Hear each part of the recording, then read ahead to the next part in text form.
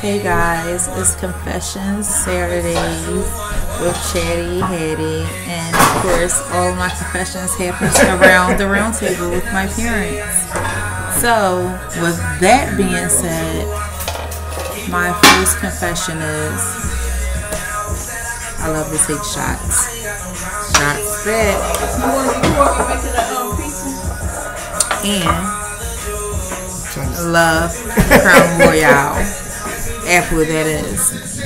But along in along with my confession Saturdays, we have dine time with fine luxury living, which is Shawty Doo-Wop, my mama.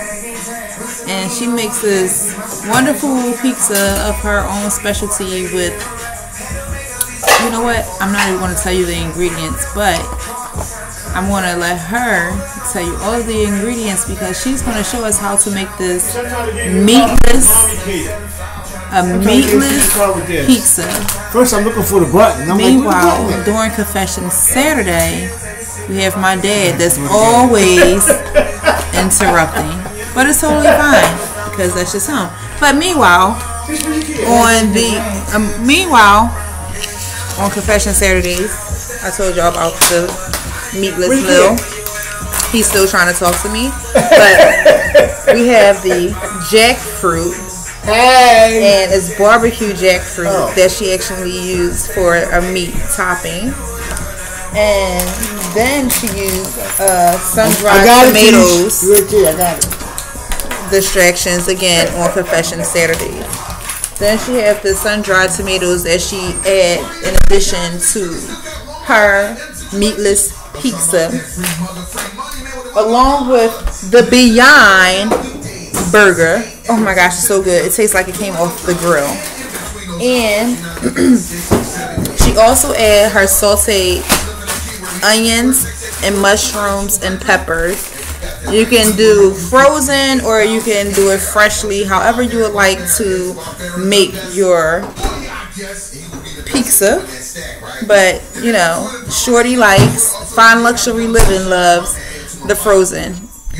I don't preferably because to me, I know you can use both, but oh she I know okay she used both, but I like the fresh due to the fact that I don't like how it's so much water with the uh, the frozen. But she have her own technique where she said it's not watery when you actually cook it. So I'll be back with the finished product of the meatless pizza. Oh, let me show you the dough that's actually used on this also. It's not no cauliflower dough or anything like that. But my Papa Bear works for Stroehmann that is now Bimbo. So we get these products. And so bubbly, bubbly, bubbly, however you say it, but it's 100 whole grain. You use that. If it was me, I'd probably use some Ezekiel, but then the crust will burn because it's not thick enough and it's not the proper dough for pizza. But meanwhile, I'll be back with the finished product and show you guys how the meatless pizza turned out. And I know you're probably wondering what type of cheese is going to be used, correct? Well, I will explain all of that when I have the finished product. But don't forget the jackfruit. You gotta get this. This is close up. The jackfruit. Okay. Oh, it's two different kinds. So it's barbecue. Oh, and this is Tex-Mex. So I already showed y'all the barbecue, and this is the Tex-Mex. All right. So be back with the finished product. The Mexican style jackfruit.